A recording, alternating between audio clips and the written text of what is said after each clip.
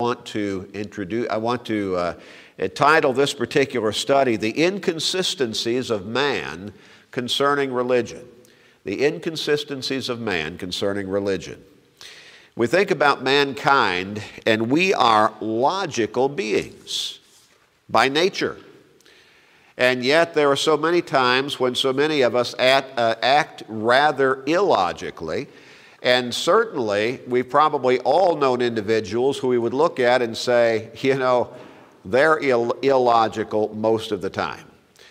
And how unfortunate that is because we are unique in this aspect of our being, that we are able to rationalize, to analyze, to figure things out and not just from a mechanical perspective. You can train some animals to do some of that to some extent, but we can think things out. We can, we can analyze the correctness, the incorrectness of a matter based upon thought. We can think about values, we can think about morality, we can think about uh, something that is advantageous or disadvantageous, and you can go on and on with the analysis, and we can say, this is the right thing to do, or this is the best thing to do. We don't always have to learn by trial and error. We can think things out ahead of time and come to an analytical conclusion. Now, some of us think more analytically and more logically than others, and I've said that I'm a logician, perhaps almost to a fault. I think very methodically, and again, that gets in the way sometimes. But different, you know, different ones of us are just kind of wired differently along those lines. But overall, we are, we are a logical race or a logical being or species. Now, at the same time, as I said, we are often illogical in our thinking and in our analysis and in our actions. There are a lot of times we act without thinking very much. We don't use our logic, we use our emotions. Sometimes we just use our feelings, and feelings sometimes are, are different from emotions. But man is perhaps at his most illogical self when it comes to religion, when it comes to his spiritual life. Direction in life, what we do, how we determine what we should do and how we should act and what we should do next and what action or direction we should take in life, that kind of direction revolves around certain logical principles. We accept these principles without question, without even thinking about them most of the time. We just know certain things happen in certain ways. You do certain things to achieve a certain end. Again, we recognize the principle, we simply do it. You turn on a light switch when you walk into a dark room because you want light to come on. You don't just walk into that dark room and wish there was light. You don't think about some other way that maybe you can make that happen. You understand you want light, you turn on the light switch. And so we do certain things without even thinking because we recognize that certain logical principles prevail. When it comes to religion, though, when it comes to our spiritual life, we throw away those principles. Now, I'm saying we in the generic sense and in a general, wide, broad spectrum, but I think it applies very broadly to mankind. We throw away the principles. The principles that we live by in every other area of life, we know that you have to do certain things to achieve certain ends in every other area of life. But when it comes to our spiritual lives, which is the most important part of our lives, we throw away the logic. We throw away the reasoning.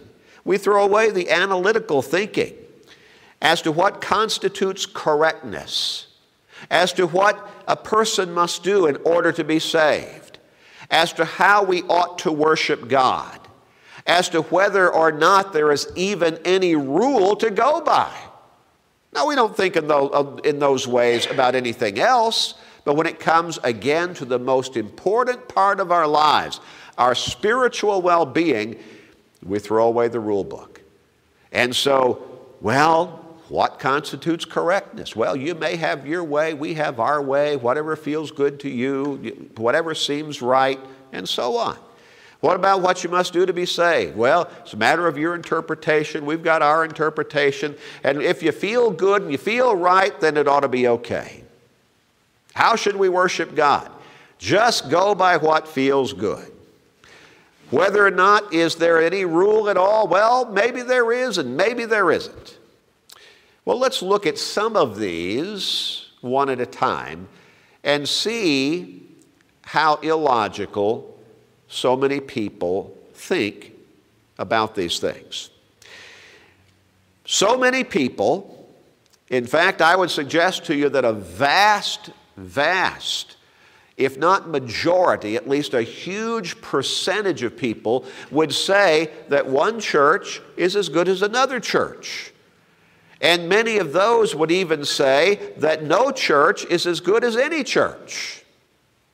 Have you heard people say, I'm not really religious, I'm just spiritual. What a bunch of baloney that is. How can you be spiritual without being religious? The two go hand in hand, and yet the devil has done a really slick job in manipulating people into thinking that you can somehow be spiritual without being religious. Do you think God sent His Son to establish the church and to bring the gospel, and that is somehow divorced from religion? Somehow you can be spiritual and follow Jesus Christ correctly without being religious? Again, baloney. Do we live the rest of our life by a principle that says one specific within a general category or classification is as good as any specific within that same general classification? Do we live that way? Do we think that way? Well, now again, some people might, might be thinking, well, and here the illogical gears start to shift into place. Let me ask you Is a Chevy as good as a Mercedes? They're both cars. Is a one room house with no indoor plumbing as good as a three bedroom home with all of the customary conveniences? They're both houses. Is a $1 bill as good as a $100 bill? They both constitute money. How about if you try somebody else's prescription eyeglasses instead of your own prescription eyeglasses? Would the one be just as good as the other?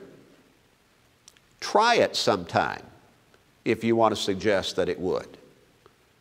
They're both eyeglasses, though, and they're both prescription eyeglasses. Is spinach as good as chocolate cake? Hmm. What about cooked beets? Are they as good as strawberries? Is liver as good as a T bone steak? They're all food. Is an F in school as good as an A? They're both grades. Is one person as good to make friends with as another person. Say, a rapist, or a prostitute, or a murderer. They're all people. Well, we could go on and on, couldn't we? Why then do we ignore this principle when it comes to our religious life, to our spiritual life? In Matthew chapter 16 and verse 18, Jesus told Peter, And I say to you that you are Peter, and on this rock I will build my church, and the gates of Hades shall not prevail against it. Is one church as good as another church? They're all churches. Is no church as good as any church? Some people would say so. What did Jesus say he came to do? To build his church, to establish his church on this earth.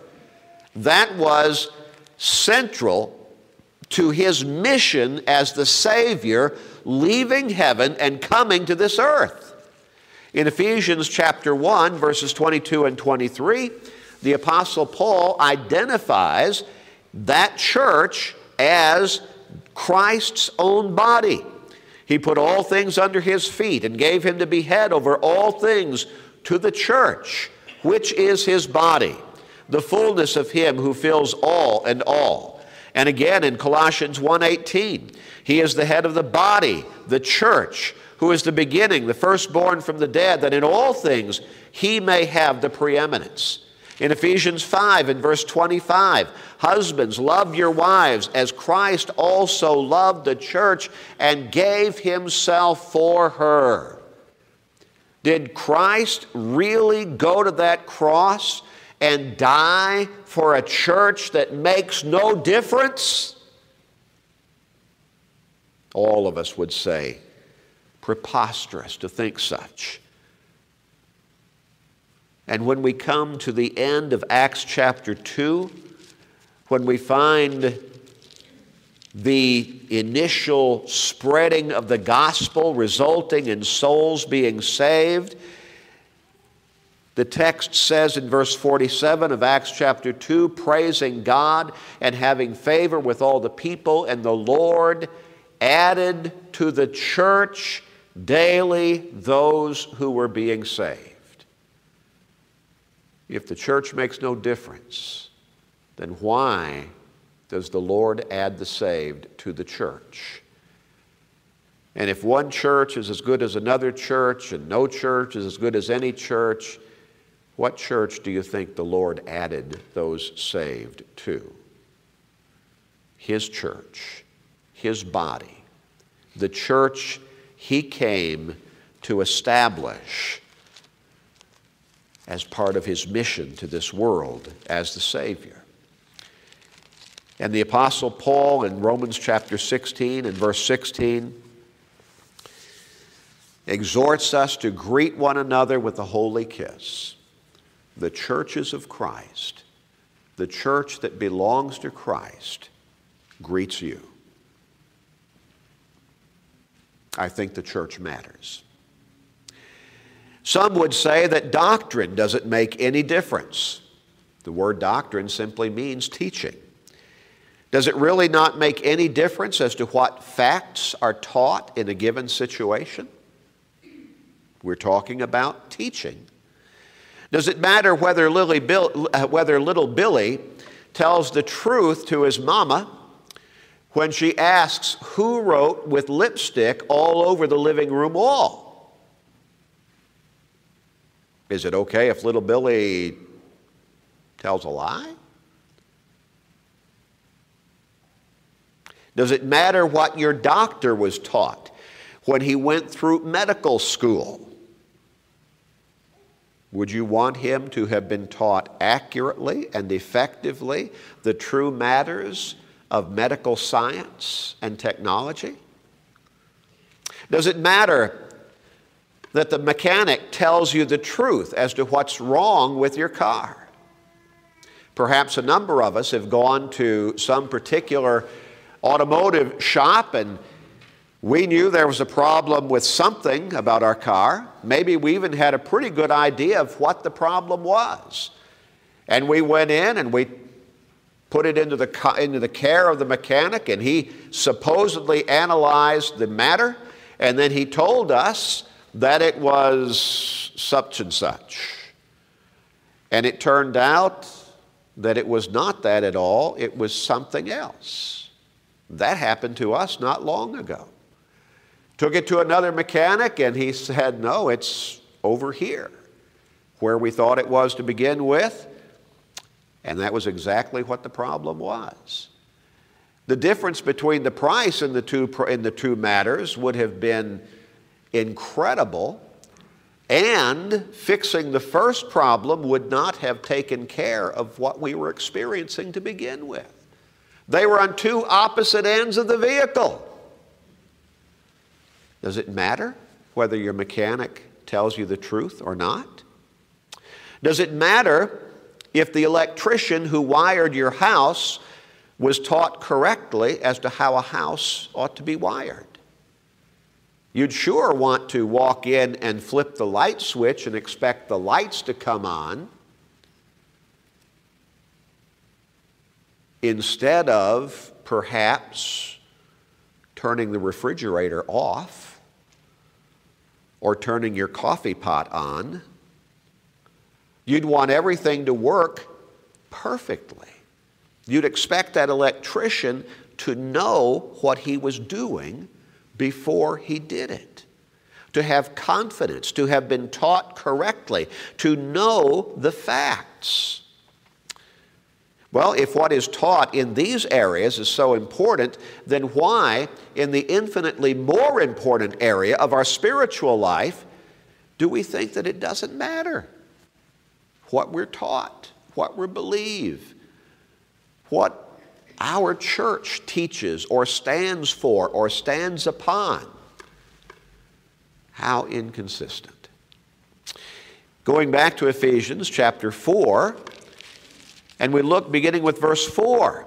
The Apostle Paul stated pointedly that it does indeed make a difference what we believe and what we teach and what we practice.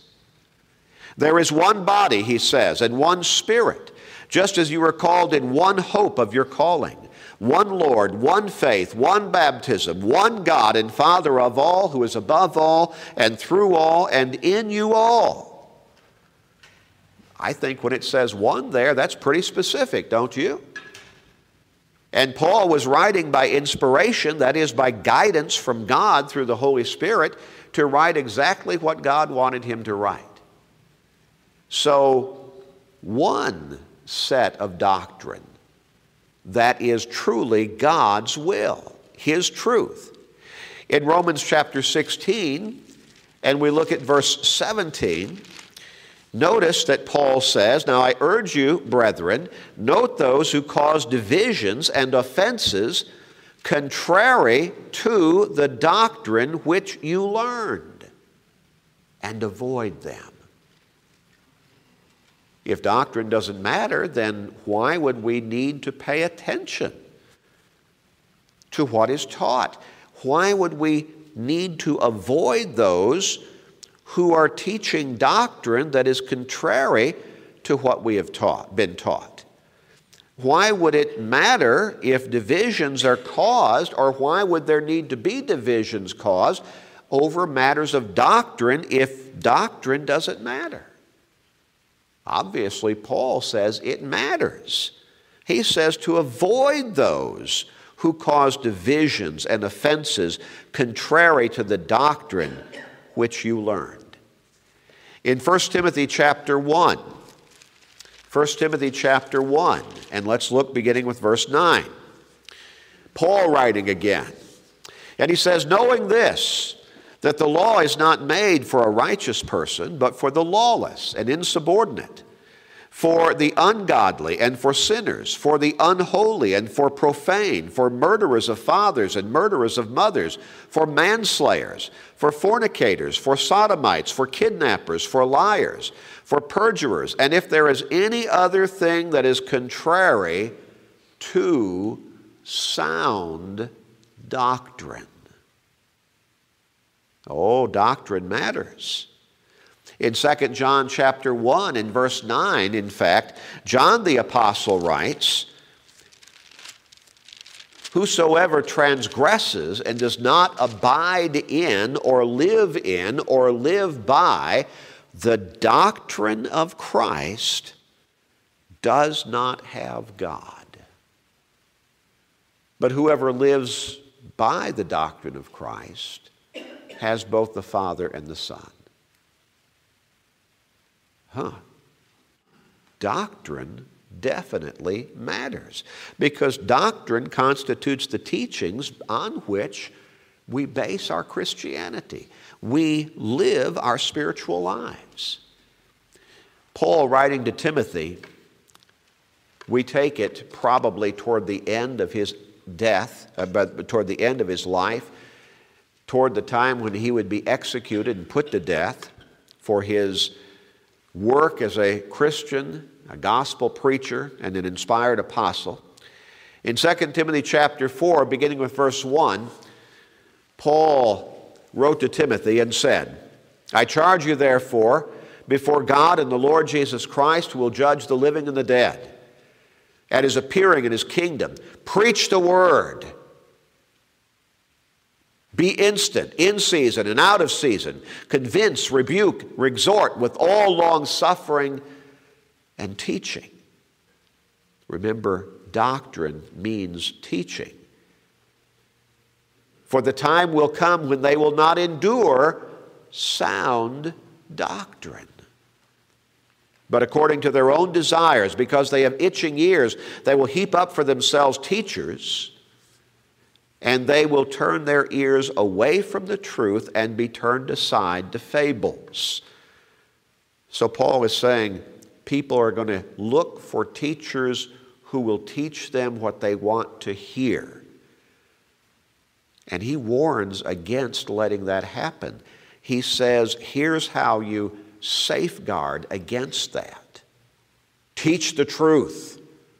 Always be ready in season, out of season, when it's popular, when it's not popular, when it's easy, when it's difficult. Convince, rebuke, exhort with all long suffering and teaching. Teach the truth always and guard against people slipping off into false doctrine. Now, if doctrine doesn't matter, what would it matter that the people would look for teachers who would tickle their ears with what they wanted to hear? But of course, Paul is saying it does matter and guard against ever letting that happen. And you guard against it most effectively by teaching sound doctrine consistently and on an ongoing basis. It makes a difference. It makes a difference. And the more we let our listening and our, our cells be compromised with hearing shades of false doctrine, the more we put ourselves into eternal jeopardy of slipping off into false teaching and away from the true doctrine of the gospel of Christ. Another inconsistency of man concerning religion is what a person needs to do in order to be saved. And so many people would say it doesn't really that make that much difference. Believe in God. Do what feels good in your heart. Wherever your heart moves you, do that, and you'll be all right. Well, does it matter how we do things or not? Is there a right way and the wrong way to do things, I would suggest to you ask any supervisor or any business owner who for whom you might be working and doing a specific job, a specific task that has a specific desired outcome, and ask that employer or ask that supervisor, does it make any difference how I do this or not? Can I just do whatever I want to do here? Could I just show up whenever I want to show up? Could I apply whatever principles I want to apply here?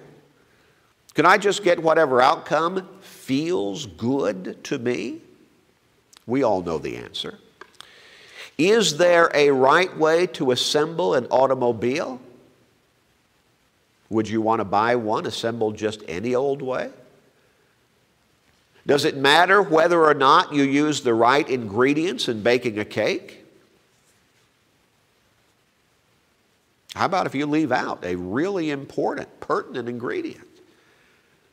How do you think the cake will turn out? Does it matter if, while you're changing a light bulb, does it matter if maybe you're standing in a bucket of water? I think we all know the answer, don't we? To all of those questions, it matters how we do things. It makes a difference, a vital difference often. If we consistently realize that how we do something matters in virtually every area of life, then why do we do a complete reversal when it comes to our spiritual life? And we throw the rule book out. And we say, well, I think, or I feel, or this is what mama always said, or I read an article. How about read God's book and let's see what it says? In Mark chapter 16, verses 15 and 16, Jesus sent the apostles in the Great Commission, and Mark records his instructions this way Go into all the world and preach the gospel to every creature. He who believes and is baptized shall be saved. He who does not believe shall be condemned. Now, Jesus' instruction there, they're clear. He says, He who believes and is baptized shall be saved. We can put it in the form of a mathematical equation belief plus baptism equals salvation clear as can be, easy to understand. You have to work to misunderstand it. Belief is one element, baptism is another element, salvation is the desired conclusion. Both elements are part of Jesus' instruction. Could we throw one of them out? Because we just don't feel good about it? because we've never believed that, even though the scriptures say it plainly? Could we just say, well, you know, I haven't done quite that, but I feel good about what I've done? Not according to what Jesus says. In Acts chapter 2 and verse 38, when the folks on Pentecost asked Peter and the rest of the apostles, what shall we do? They had rejected Christ. They had disbelieved in him as God's Son and their Savior. They did not believe he was the Messiah. There were likely people in that crowd that day who had been some who might have cheered on his crucifixion, who certainly probably were there in the crowd and, and believed that he deserve to die. I mean, very possibly, if not probably, these things were the, these, these, there were people there who, who experienced those kinds of feelings on the day of his crucifixion. But now they'd been taught the gospel. Now they had come to understand more clearly and accurately the truth. Many had come to believe on Jesus at this point. And so they asked, What shall we do? The first thing Peter said in verse 38 is, Repent. Now that's a change of mind, literally. But we understand that inherent within the understanding of the change of mind is a change of action. And so he says, You've got to repent, you've got to turn it around. You did not believe in Jesus, you've got to believe in Jesus. You did not accept him as your Savior, you've got to accept him as your Savior. You rejected him, you've got to accept him. You've got to follow him. You've got to repent. You've got to believe. And then he said also, and let every one of you be baptized in the name of Jesus Christ for the remission of sins. And you shall receive the gift of the Holy Spirit. So you've got to repent. You've got to be baptized, he says. Now there's the mathematical equation again. repentance plus baptism equals forgiveness. The forgiveness is what you want. The forgiveness is what you seek. The forgiveness is what you need. Because the wages of sin is death, Romans 6 and verse 23. You need forgiveness. You need to repent. Repent of your sins, repent of your unfaithfulness, and be baptized in the name of Jesus Christ for the remission of your sins. That's what Peter instructed the people to do. And Peter, I believe we understand to be guided by inspiration to tell them exactly that. In Romans chapter 10, verses 9 and 10, the Apostle Paul says, If you confess with your mouth the Lord Jesus and believe in your heart that God has raised him from the dead, you will be saved. For with the heart one believes unto righteousness, and with the mouth confession is made unto salvation. Paul said that we must believe and we must confess our faith in Christ in order to be saved. Are both required? Or can we just pick one and let the other one go? Can we choose what we want to do and let the other one slip by because we don't think it's necessary or because it doesn't feel good to us? Or maybe we feel good just by believing. We don't want to have to do the repenting. We don't want to have to do the confessing of our faith in Christ. We don't want to have to submit to baptism. No, all of these things from these various texts of Scripture tell us that we must do all of those things. Salvation is linked to every one of them. We must believe and be baptized, Mark 16, 15, and 16. We must repent and be baptized for the forgiveness of our sins. Acts chapter 2 and verse 38. We must believe and confess our faith in Christ. Romans 10, 9, and 10. All of those are necessary. They're all within the general context of salvation. But that's not the end. Jesus himself also said in Revelation 2 and verse 10 that we must live faithfully. We must be faithful unto death. And then he says, I will give you the crown of life faithful living, living faithfully, faithful for life. That's necessary as well in order to receive the crown of life, which again is symbolic of eternal salvation, eternal life. All of those things are necessary. They're all scripture. We can't pick and choose. We can't throw some of them out as we turn to the very end of the book of Revelation, chapter 22, verses 18 and 19. For I testify to everyone who hears the words of the prophecy of this book. If anyone adds to these things, God will add to him the plagues that are written in this book.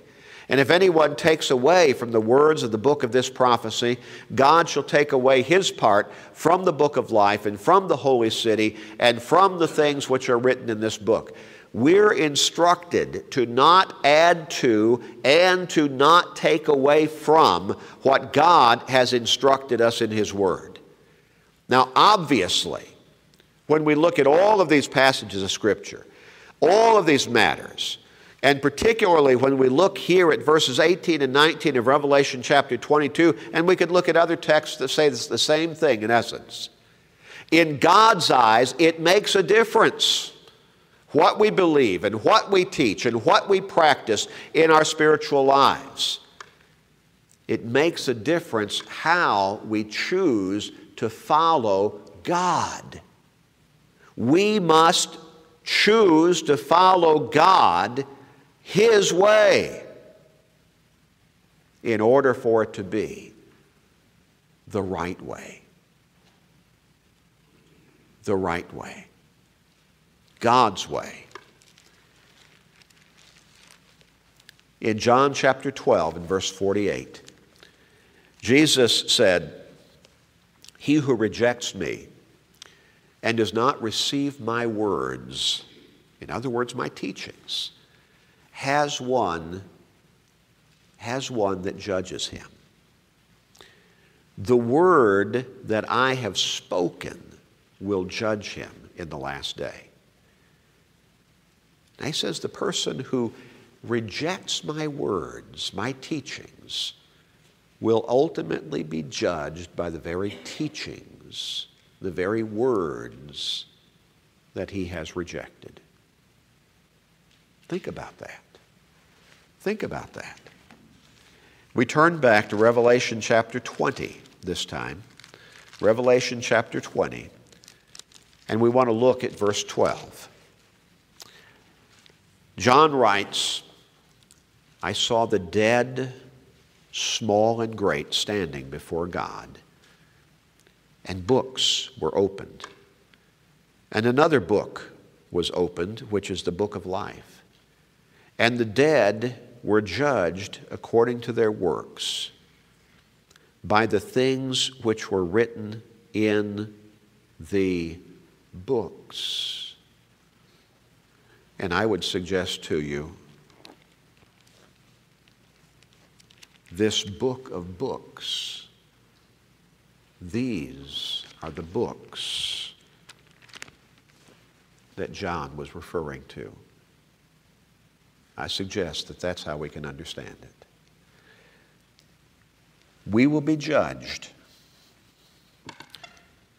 in respect to how we respond to God's teachings. And we better not be inconsistent when it comes to our spiritual lives. As quickly and as readily as we understand that we need to do things right in every other area of our lives in order to be right and to get things right and to have the desired results, we better make sure that we live by the same principle in the most important area of our lives, our spiritual lives. And we need to get that right. We need to follow God His way the right way. If you need to change your life, maybe you've not been doing it His way. Maybe you've been just go, been going on gut feelings. Turn to God. Turn to His way. If you need to study some more, get with one of us. We'll study with you right from the Word. If you know what you need to do, if you know that you need to repent of your sins, confess your faith in Christ, and surrender to Him in baptism, and you're ready to do that, then step forward and let's get that done this evening. If you need prayers of the church for whatever reason in your life, step forward and let us know so we can pray together. If you need to take something between you and God in prayer, please do that right away. But if you need to come, won't you come right now as we stand together and sing?